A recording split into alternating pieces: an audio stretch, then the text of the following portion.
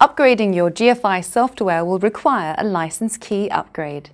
It's important to note that here we're talking about major version upgrades to your software rather than minor updates.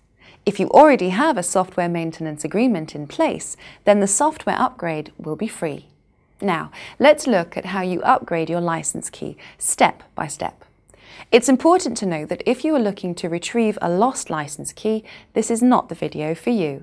Instead, we have a separate page on how to retrieve your license key information. You can find the link in the description below. Let's get back to upgrading your license key.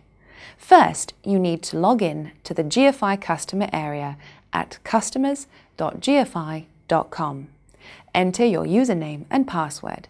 These should have been sent to you along with your license key. Next, click the My License Keys link to bring up a list of your products and their keys. Click the blue key icon next to the product you have for additional options. Now, if you have a valid maintenance agreement in place, then you want to select Upgrade License Key.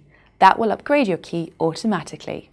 If you do not have a maintenance agreement in place or have not renewed one, then you can select Renewal to renew your agreement. Once you have done that, you can upgrade your license key as we have mentioned.